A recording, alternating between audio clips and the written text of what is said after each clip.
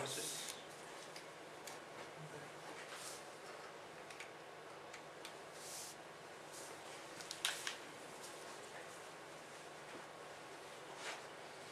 So the next speaker is Bas Pitters from the Radboud University. And we be talking about uh, Delft van Spekline Groten die toposes geometrically. So, is that correct? Thank you.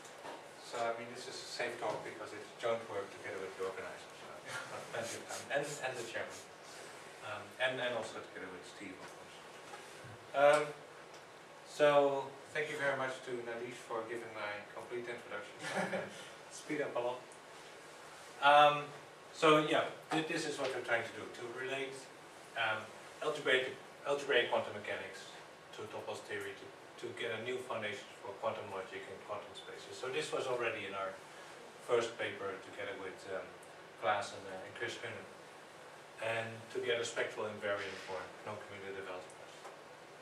Um, well, you've heard all this. Um, the only extra point is that um, we also have a direct measure on in classical, well, we also have a measure uh, apart from the geometric structure, which also shows up in um, non-commutative uh, geometry.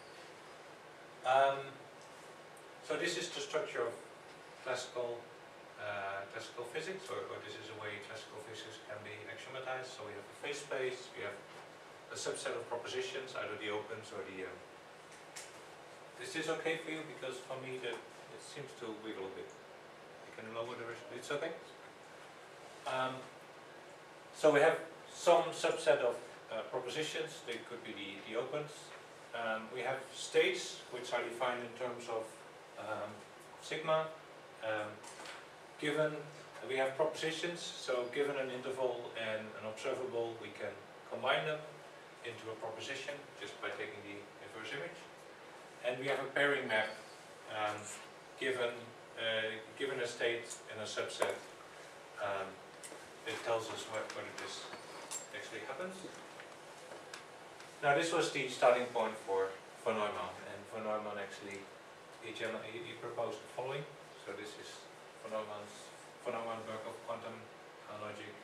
So we have a, a quantum phase space, we have elementary propositions as closed linear subspaces, we have pure spaces, pure states as the unit vectors, the closed uh, linear subspaces, and we have the pairing map, the Born group.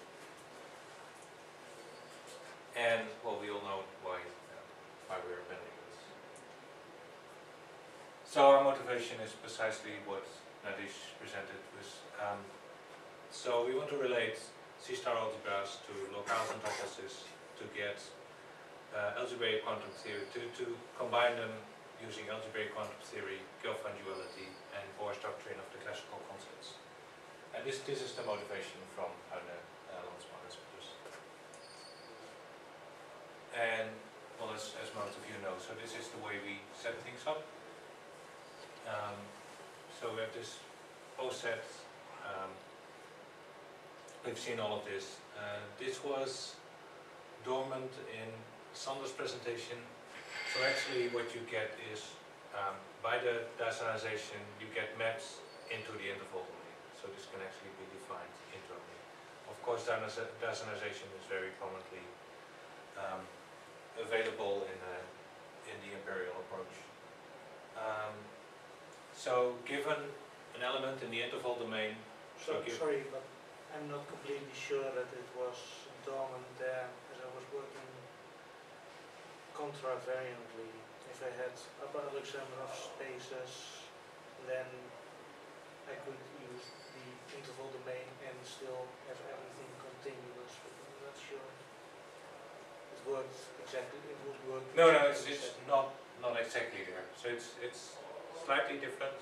The only thing I want to emphasize is that for us internally, we get an element in the interval domain. But I, I won't say any more about the, uh, the Daseinisation, which is a beautiful word, of course.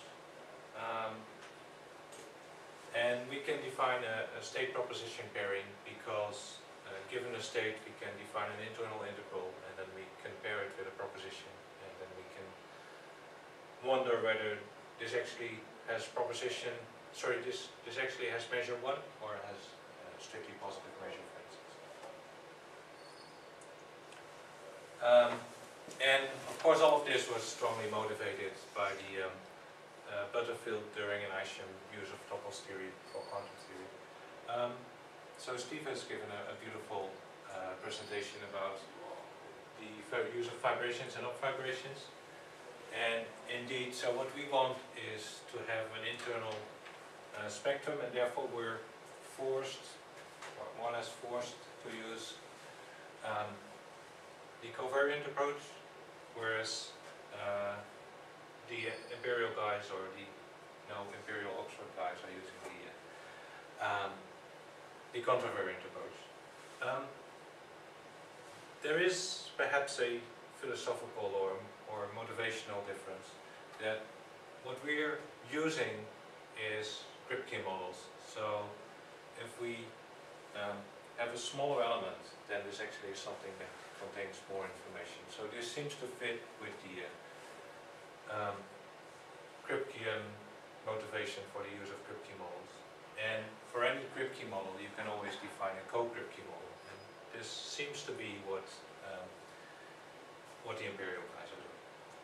But we can discuss this later. So, so, so, so this at least for me is, is one way of understanding the difference. We can discuss it.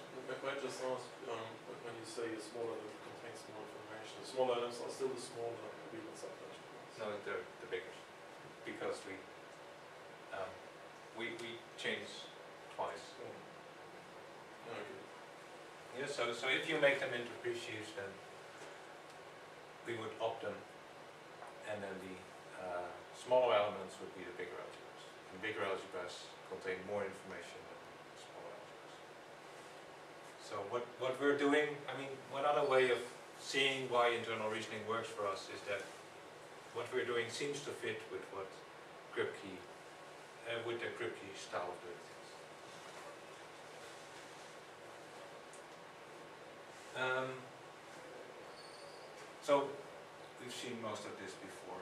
Um, an in internal C-star algebra is just a functor from the underlying category to the category of C-star algebras. So you can think of it as a, a bundle of C-star algebras. And then Bohrification is a map like so, just a topological map. Um, what is nice is that this gives us an internal C-star algebra, and this one is commutative because of the local pictures. And this is the Bohrian perspective, but we've seen this so often that I'm, I'm, I'm speeding up. Um, of course, we have Kochen-Specker, so there are no hidden variables in quantum mechanics, and this is where you all know what it means. So it's impossible to assign a value to all the um, all the uh, variables in an intrinsic and independent way. And mathematically, it's it's this, and it's the one of the contributions of Andreas and um, and Chris Chris Isham to see that this can actually be nicely expressed. Not so so in the earlier work by uh, um, Butterfield and Isham, um, this this category was used. Uh, the category was used based on this, uh, based on a monoid, and only in the work uh, with Andre in sorry only in the work with Andreas there was the introduction of the commutative subalgebras. That's correct, isn't it? No, in the third of the paper, that's where Jamie and Chris Okay, was, so it's- phenomenon was similarly used. Yeah, that's the paper with Hamilton. Yes. Okay. So thanks for the correction. Um, so we know there's no global section, um, but still we have the possibility to have a neo-realistic interpretation uh, by considering also also non-global sections. I have to object with that, I'm sorry, because we made up this word, I think I have to just say that this is not what we call it. This is not. Uh, so so I want to generalize the word neo-realistic to mean um, we're allowed to use non-global sections. Okay, then then, not what we originally meant, fine. Um, no, I mean, the, the sentence is supposed to continue. So the, the word neorealistic was also introduced by, Simon or maybe even earlier. Um, so we want to consider the phase space of the Bohrification, so this will be um, uh, the spectrum of the internal C-star algebra, and for this we will want to use constructive Gelfand duality.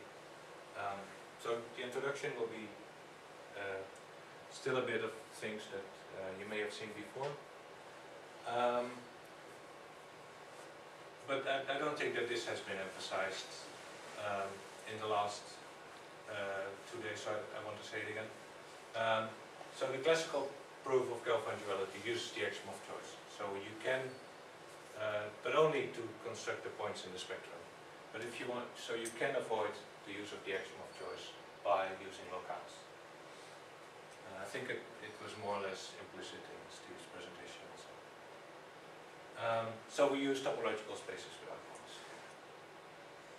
And this has been a very powerful uh, tool. So a lot of things, a lot of theorems in functional analysis, uh, Tikhonov, Krein-Milman, Alaoglu, Hahn-Banach, Gelfand, Zariski, can all be done without using the axiom of choice. So this is a very strong methodology.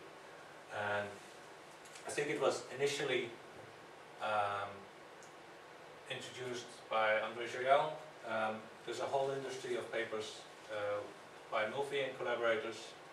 Um, Thierry Coquand has put it in a more uh, predicative context and this is where, uh, where I picked it up. So it's, I learned most of what I did uh, in collaboration with, uh, with Thierry Coquand.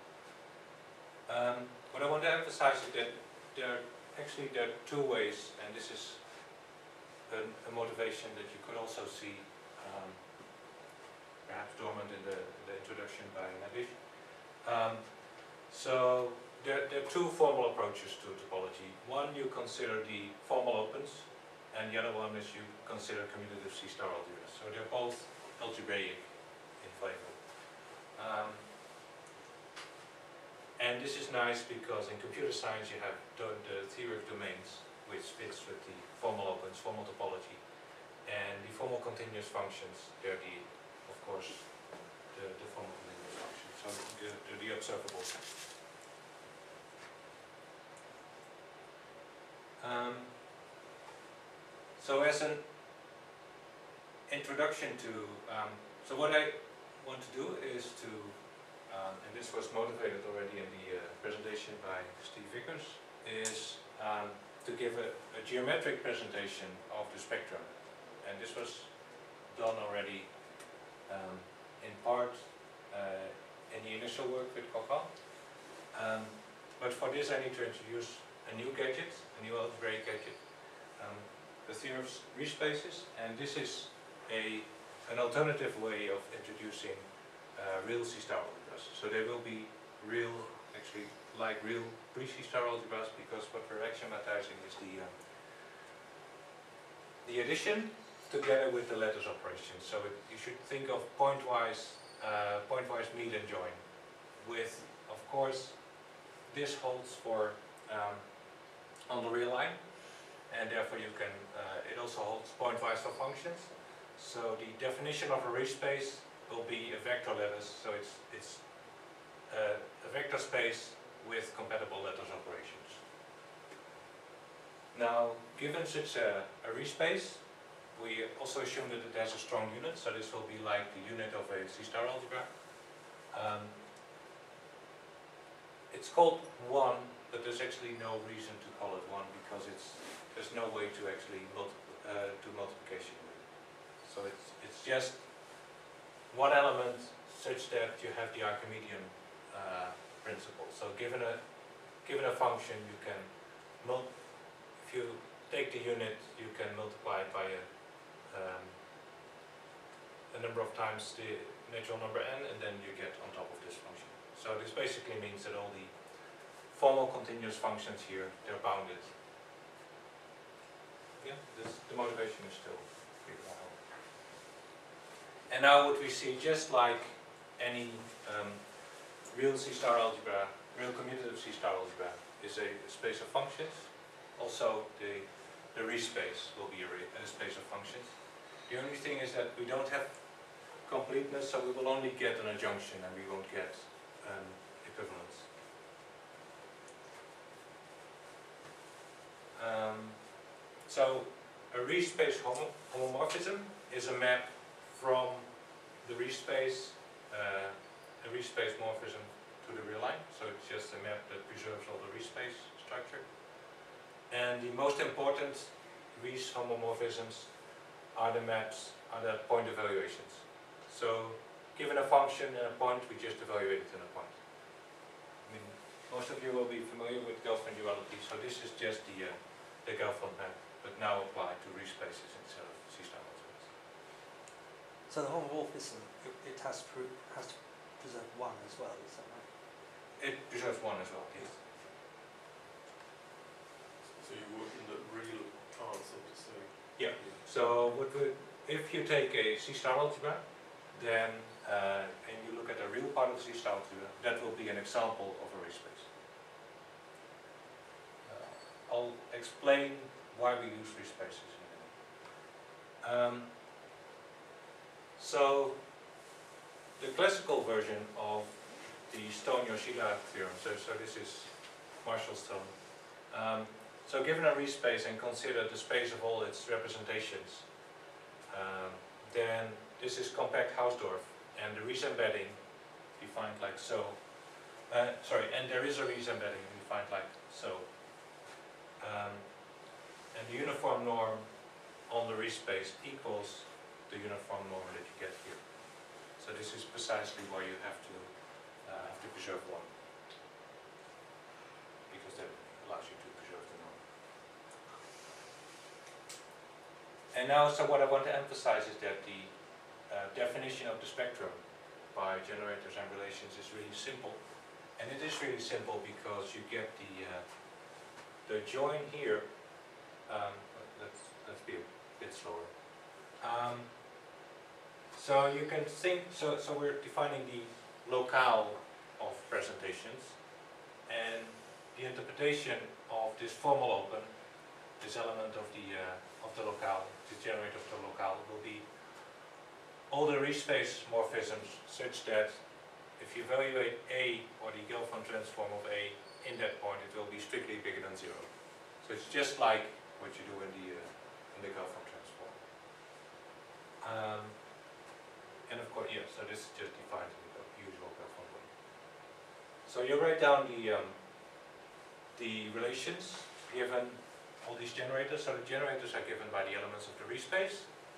And what makes thing, this very easy is that is this fifth axiom, but to some extent also the third, that we can um, directly express the points where A or B are, uh, are positive, which are, is precisely the join of the points where A and B are both positive. Oh, sorry, where either A or B is positive. So this is a very nice algebraic construction, and this is the only infinitary action. So that's that's also needed. Um, now this is compact. Com so please for, forget about the uh, self-adjoint part here. So this is actually meant to suggest that if you take a um, C-star algebra and its self-adjoint part, then this actually works. Um, if you take the uh, the spectrum of um, of A, this will be compact and completely irregular, compact Hausdorff. Um, so but this gives a direct point-free description of the uh, space of representations. And what follows from this is the fact that every commutative C-star algebra is a C-star algebra function. So this was the constructive variants of this were um, first work uh, on this was done by Banaschewski and Mulvey. Then the step was made by Coquand, and finally the, the last bit was done by us together. Um, so this is, we, we provide the first completely constructive proof, so that works for all toposes. And moreover, it's what's also important is that it's geometric. And that's the problem with the, um, it's geometric in precisely the way that this was defined by, uh, by Steve Vickers in the last one. And I'll, I'll explain why this is important.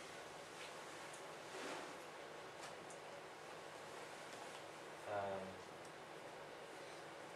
so this gives us the, uh, our internal spectrum, our equivalent of the uh, spectral presheaf. Um, and well, this is the, the phase of this. So, as we know that this is the, this has no global sections, but it is a well-defined, interesting, compact regular locale. So it, for us, it has a lot of structure. And this is also what we saw in the, in the presentation by Steve Vickers, that we do get a, uh, a compact locale. Um, yeah, before I, I do the computations, um, let me emphasize again why um, why it's important that we, oh sorry. Let me emphasize again why this is important that this is geometric. Because this means that it uh, can be computed fi fiber-wise. And now that we know that we can easily vary the underlying category, so for instance by putting a topology on it, or putting a group action on it, this construction will continue to work because it's uh, is geometric, it will just be computed fiber-wise. So this is very stable. Whereas if you look at the um, uh, the alternative definition of the spectrum of a C-star algebra, that one will be will not be stable, um, and that's because the um, the structure, the completeness, if you pull it back over a geometric morphism, you will not get completeness. And this is already an old observation by Banaschewski and Mulvey. So what is nice is that because the structure of a Riesz space is fully algebraic, plus if you take the vector lattice to be a, a rational vector lattice, then this whole structure will always be preserved when you pull it back over a geometric morphism. So this means that this computation is done once and for all and we can uh, modify the underlying category as much as we like, but this will just be, uh, the computation will be the same.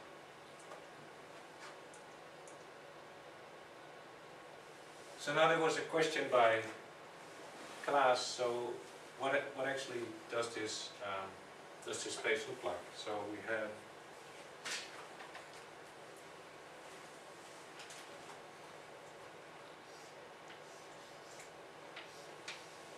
sigma over the ideals of CA, can we understand what this space looks like? So we, before we just gave a, a fully formal construction, just as a, uh, an element in the topos, but now we want to understand, so what does it look like externally? Um, now as you know, or may know, if you look, look at locales in the sheaf topos, then this is actually equivalent to locale maps to the underlying space. So our locale will just be, as was also presented by Steve Vickers, it will just be a, a locale map from sigma to the ideals in CA and moreover um, this will be computed bundle-wise.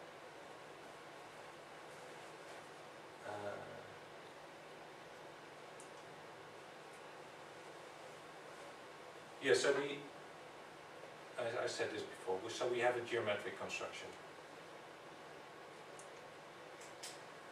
Um, now another question is, um, so does this space actually, is it spatial? Or is it, uh, so a priori it may not have any points at all. Um, but it turns out that it's spatial, so it has enough points.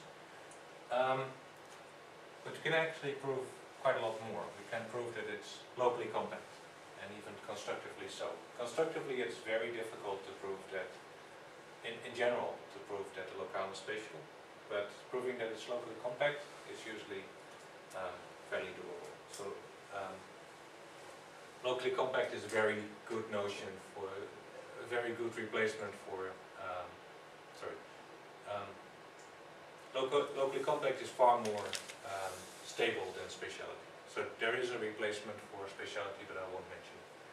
Um, so classically, if you have the axiom of choice, then locally compact locales are uh, spatial. So we actually get, uh, so, so actually the result is implied by what we have here. So it's constructively locally compact. And we're going to prove it as follows. So we know by construction that sigma is locally, it's compact regular and sheaves over the ideals of CA with the Scott topology. Um, maybe I should repeat what was said by Steve Vickers that um,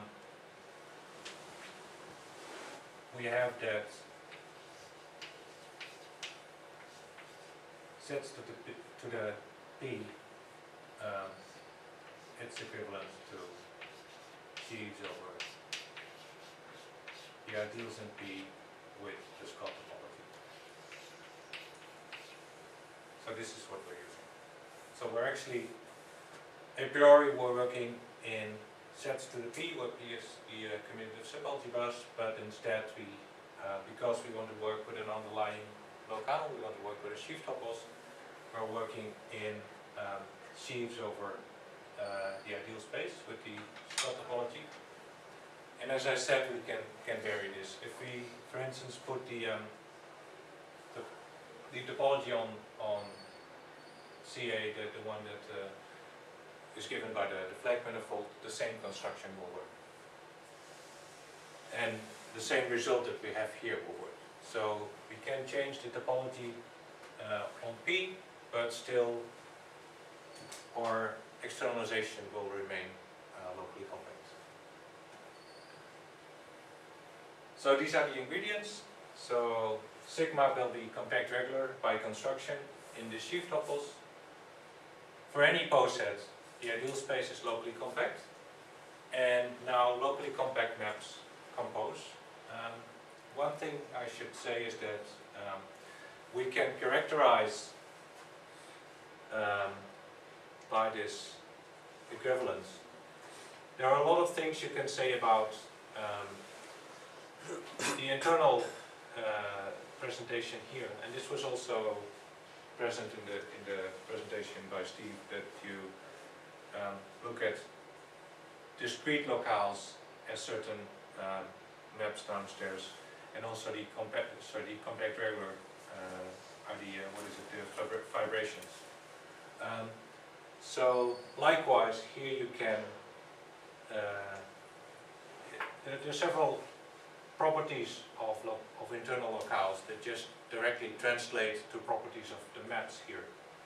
Um, for instance, um, compact, internal compact locales correspond to perfect maps and internal compact regular locales correspond to proper maps.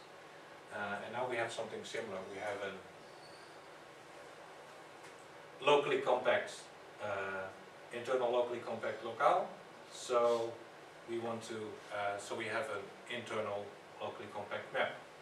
And now we have, so now we have two because sigma is locally compact over this ideal space and this one is locally compact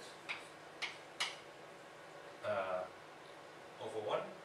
So now the general theorem that we want is to show that this one is locally compact. And how do we do this? We prove in general that whatever is underneath here, and this, this will be important later on. Um, so we can vary this, and that, that there's a good motivation for this, for varying this. Um, whatever is underneath here, whatever topos we're working in, this composition is again compact. So this is again a very stable theorem. So we're going to prove that locally compact maps compose. And then we have classical speciality, but I mean the constructive local compactness, it's much more important. Uh, Yeah, so one, one consequence of this um, geometric construction is that the space can be computed uh, fiber-wise. So the points here will be an ideal in here plus uh, plus the spectrum that's directly over it. So if you take a uh, a prime ideal, sorry, if you take a, a principal ideal, then it will just be a pair like so. So you take a principal ideal given by a commutative subalgebra and then you take a point of its spectrum. And more generally, you will, will want to take an ideal in this space here.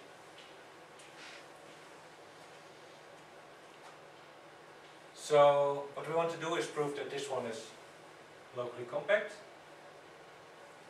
Now the following are equivalent. Y is locally compact. The exponential with the Sierpinski space exists. And Y is exponential for any space. So we can take uh, x to the y for any uh, space. So this is the theorem we proved. So this is basically, this says that locally compact maps compose. So suppose that y is locally compact in sheaves over x, where p is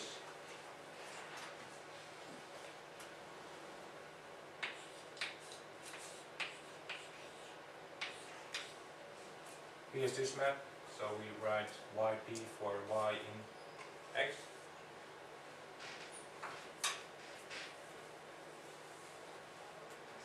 So if y is locally compact in sheaves over x and x is locally compact, then the composition is locally compact. And the proof is this picture. So we need to construct, and let you stare at it. Um, I must have seen this. You, you've seen this before. It's, it's a joint paper. Uh, so we want to construct the uh, the opens of y. So what should an open of y look like? Um, so an open of y here, what happens? So we um, take, I'll make it more precise in a minute. So we, we take an open of y here.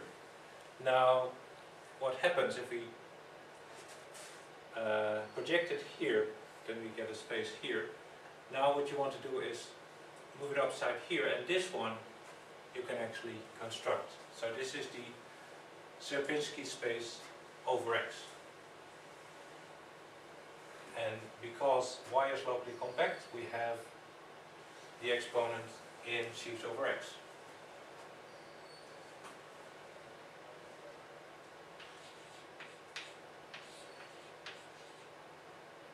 Uh,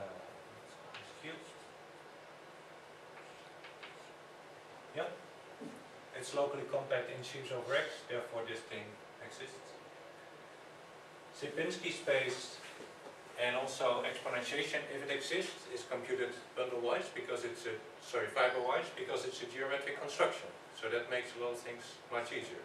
So Sierpinski space and exponentiation by Sierpinski, it's geometric. So that's an easy computation.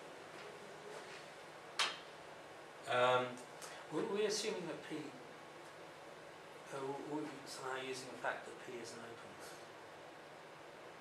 So it's in the, the image of view is open in X. Is that part of the um. And then take the inverse image onto Q. I don't think we need it, but in any case it's going to be true. Um, okay, so, and we want to have a global section of this. So we want to have a map upstairs and going back.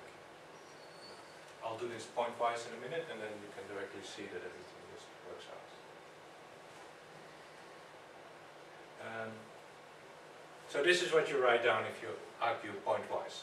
The nice thing is that this proof actually works because um, the continuous map will be a constructive transformation of points. So this is the methodolo methodology that was explained by, by Steve in a previous, previous lecture.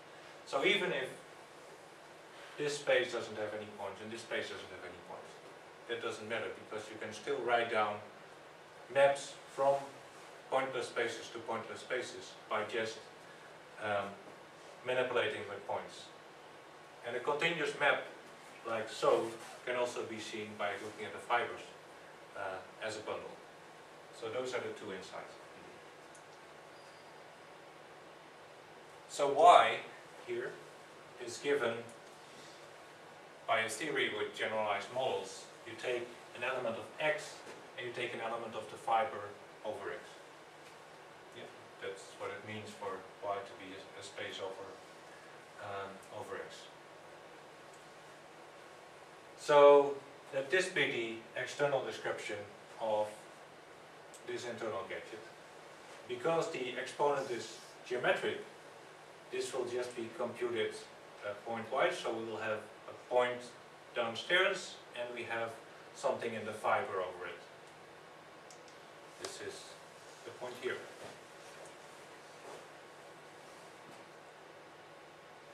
So we have a W in uh, to the y over x. So it's the, the pre- preimage of the, uh, the map P. Now we define E to be all those sections of this map. So all the maps that if we um, go up and go back down, we have the uh, identity. Now it's, it seems that we're just manipulating points, but that's not the case. I mean, all of this can be done geometrically, and therefore this actually is a definition of a space, of a locale, even if x and y are not locales. Um, and that's, so the ingredient we need is that this actually is a space by local compactness. So this, again, this one is locally compact and therefore we can exponentiate it and this is again a space. So that's an important observation. So E actually defines a space. Now it's easy, so now we've defined our space E, which is supposed to be the um, external exponent. Now, of course, we have to check that it actually is the, uh, satisfies the universal properties. I hope this is not an omen. I think, is it, Yes, it because I you're guess leaning on the like switch? sure. It's- It's me, okay. Um, so what we need to do is to um, define an evaluation map because we're arguing that it, it is the, um, the exponent. So given a point in y, we should get an element of Sierpinski. But of course, we should get an element of Sierpinski over x. So this is just the, uh, the way we define this map. And then we compose it with this map to end up in Sierpinski space. Yeah. Uh, you can check the, uh, the easy laws, but it's, so what I want to present is mostly that this is a very simple definition, a very simple and pointwise definition. And what we use here is again that the evaluation is geometric, um, so that we actually get this evaluation map here. So we just work with point, work as if there were points. Um, so we need to do two things. We need to define an evaluation map and we need to define an uncurry map. And this one, um, so we have those two maps. And so this set of satisfy the right universal properties. So we've now proved with these easy definitions um, that we actually have constructed the uh, exponent with Sierpinski space. And this means that y is locally compact. So this is actually a very simple proof, but the, uh, the statement is not easy.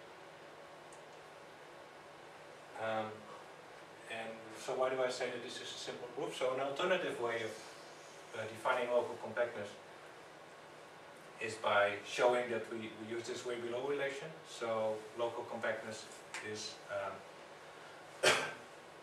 so you get a, a continuous lattice.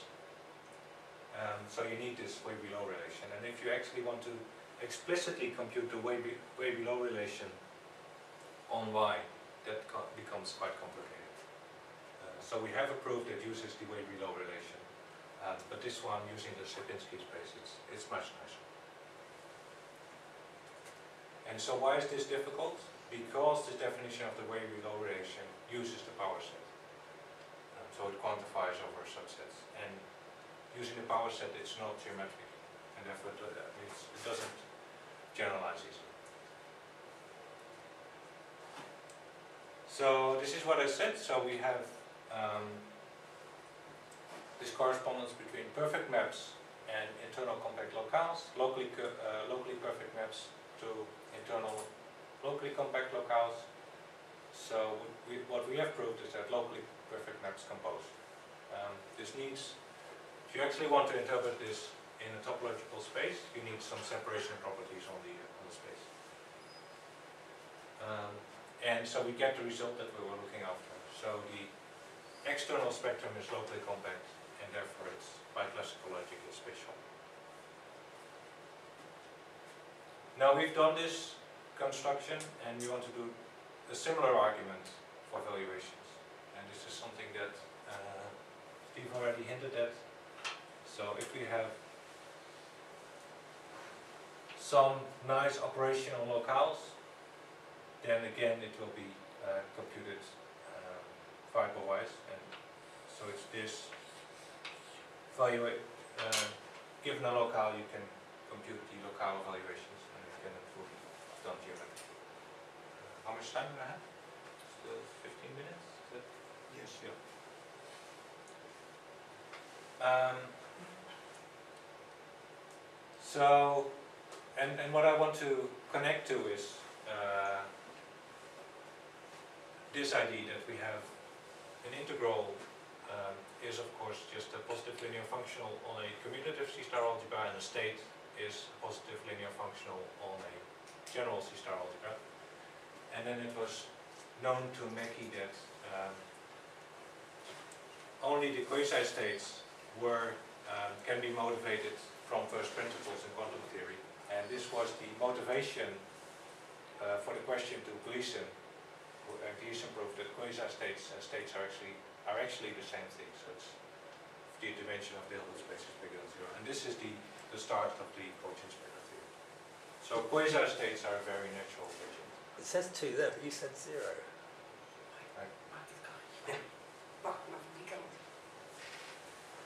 Sorry. Uh, it says two there, but I thought you said zero. So what- no, no, I mean two. it means two. And what happens at two? Is it just not true? It's not true, yes. Like in, in Kochen-Specker, we also need, uh, in Kochen-Specker, you always need this condition that the dimension of the Hilbert space is bigger than zero. So it's, I mean, it's the same, same idea. Um, now, there's a theorem that, um, that is important, is that we have a one-one correspondence between quasi-states on A and integrals internally on the space of continuous functions here.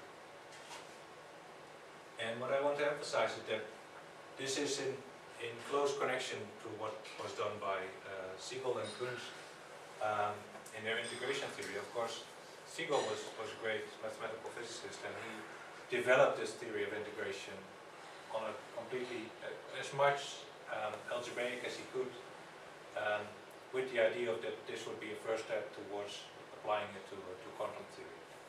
Um, and the idea would be that the expectation, so the, uh, the state here would be the expectation in measure theory.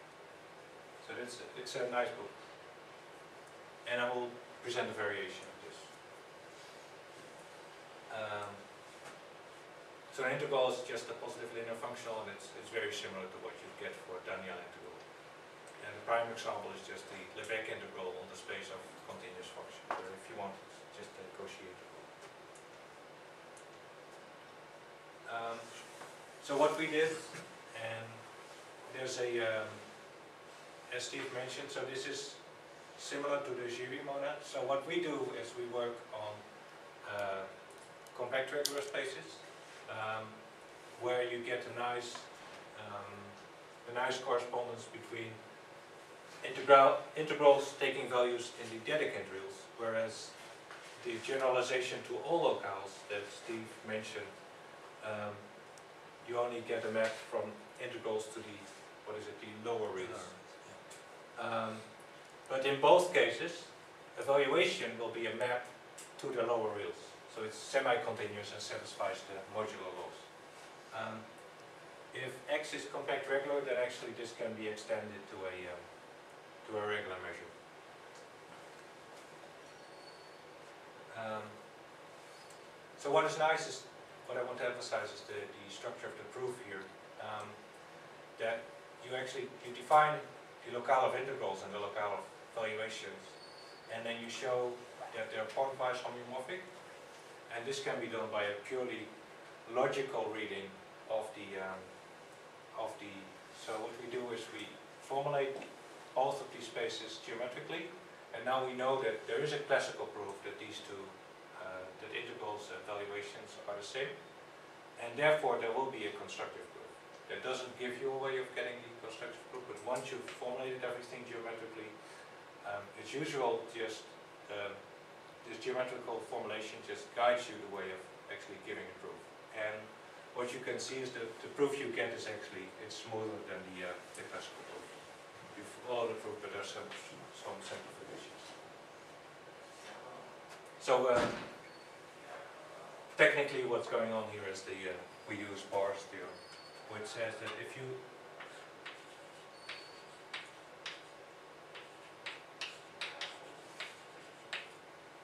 you have a geometrical statement with a classical proof, and the, the proof can be as classical as you want, you can use axiom of choice, then there will also be a, a constructive proof. But obviously, or maybe not so obviously, there's actually no way of actually getting to the uh, constructive proof. But in practice, it turns out that it's often possible to find it. Well, I, I thought you'd written down this proof in a purely geometric form. No, that's what I said. So we've So you, don't- you didn't actually need Barr's theorem in No, order no, to- so the thing, the metho- methodology is, um, we have this classical theorem. Now, we state it geometrically. And then by Barr's theorem, we know that there should be a constructive proof. Yeah. But But you, one- but you found it anyway. But, but given the geometric formulation, it's usually straightforward because of this nice, um, the nice properties of geometric logic and some cut elimination results and so on. It's usually quite easy to actually find the proof. There was actually, I mean, there, there are some insights in the proof which actually make it simpler than the classical proof. And, um, we, we did some algebraic computations which also make it easier. Um, but what I want to emphasize is this methodology, that if you have a classical proof, you can often reformulate it geometrically, and then an appeal to Barr's theorem, this actually gives you a very strong motivation for looking for this actual constructive proof. Um, yeah, so the important thing is that you have to formulate it in such a way that it doesn't use dependent choice, because uh, this is not present in geometric logic. Um, so and it's the, uh, the Giry monad for domain theory and logical form. And it's, there is a generalization that Steve presented. So what is nice again, that this is a geometric construction. Um, and again, we can apply the theorem to see that uh, this is also, this map is also locally compact. And this will stay locally compact even if we put a topology on here. So again, this is something that's very stable under the, under the changes of the, the base category. So it's a very stable result. Um, also, because we're moving internally from one to the other, um, we can move internally from the space of integrals to the space of evaluations. Um, so it's all very canonical and, and there's a lot of things we can change. Um, so here's one motivation. We saw a couple of other motivations for actually changing the underlying category. So instead of a poset, we may want to make it into an actual category. Um, we may want to put a topology on it. Uh, we may want to look at uh, algebraic quantum field theory. So algebraic quantum field theory gives you a, a local net. So a functor from Minkowski, poset of of opens of Minkowski space to the category of C-star algebras. So this gives you a C-star algebra in the pre-sheaf topos um, uh, over M2 sets. So this is an internal C-star algebra in here, so we can verify and then repeat the whole story. So the nice thing is that we can now change uh, the one we have here with um,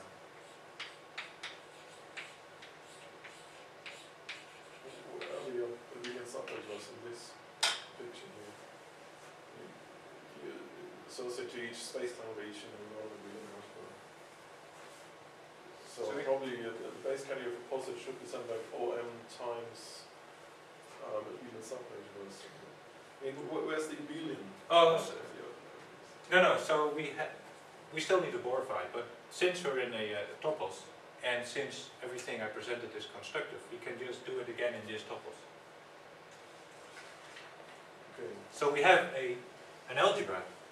Now, in this topos, we build a new topos, Okay. And in that topos, it will be commutative. Yeah. Right. Isn't this a little bit odd because um, if you consider a space of classical fields, then that's not locally compact unless the, the space is zero dimensional. Oh, yeah, sorry, that's right. Um, But in this case, it is locally compact. Or no, sorry, sorry. So the result I was mentioning, I haven't actually done. Um, it will be locally compact over this, um, and I believe you're right. So, so this actually is not.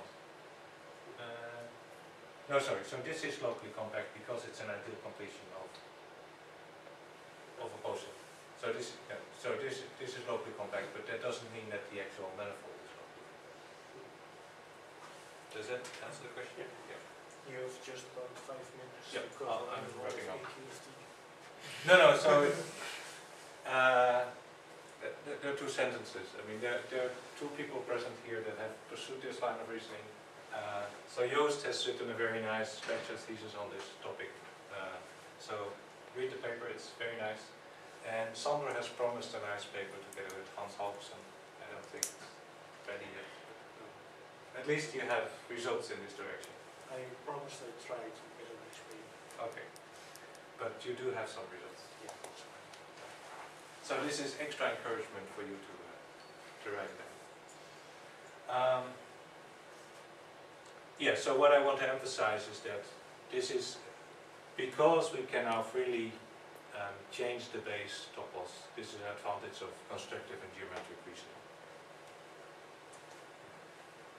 So these are the conclusions. So we have a functor, um, so we get spatial quantum logic via topos logic. Uh, we use internal Gelfand duality. We get intuitionistic quantum logic, which is what uh, has presented also. Um, we get the spectral invariant, so this was nicely presented by Nadish. And we get states as non-commutative integrals. So these non-commutative integrals become internal integrals. And because we use all this geometric reasoning, uh, we can do everything nicely fiber-wise. So things are very stable, also all the changes of the base category. And the computations are really easy. So, thank you very much.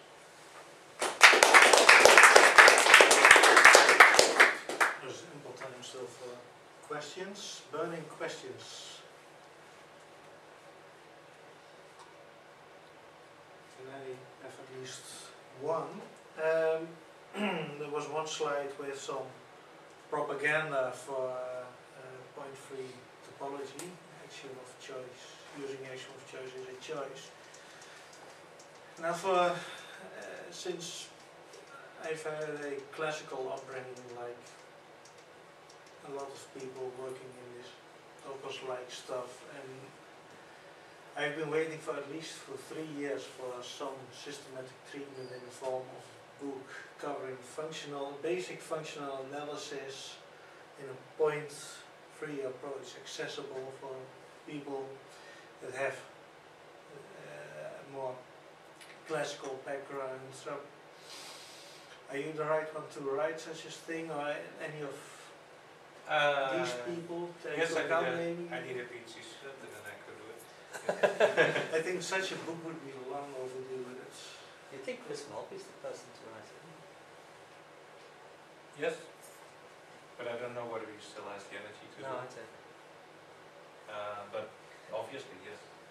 we could kidnap him and put him in a cellar and release him only if he finishes it, for the sake of science. But there is a book somewhat in your direction by Arnoud van Rooij, who was a professor of analysis here, and Ben de Pagter, who tried to prove as much as possible in a constructive way functional analysis. For example, if you take they they proved that only for separable, separable Banach spaces, in No, which no. case you can give a constructive proof. Yeah, but if you didn't use So- point so- three methods, then yes, you No, but the it's same still halfway towards your, goal, or a la Oofla they don't prove, but if you prove Barnard's earlier result, the separable case. No, but that, that constructive. actually goes in a different direction. Yeah. Because, so, so what they're, so this is their work on mostly say small Riesz spaces. And they uh, restrict a lot of things to um, separable spaces. And this is very interesting, but still then you're reasoning a lot with sequences.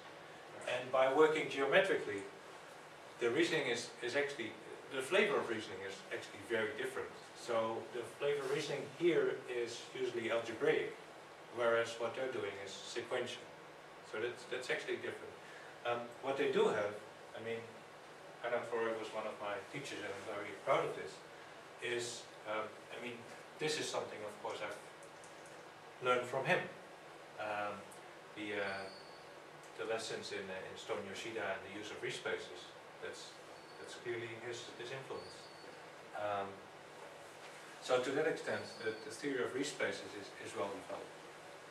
There, there were more people involved, but it's, it's clearly, it's, uh, school that, uh, that does this kind. Any other questions, comments? I have a comment as well. Uh, Moerdijk apologizes to all speakers that he isn't here because of the trains. So there's still no trains between Utrecht and, uh, and Nijmegen. Still none. So maybe they were, I just received a mail that uh, uh, the trains are uh, back on the route. But it's, too late. I asked this morning and they said they'd be fixed by ten o'clock in the morning.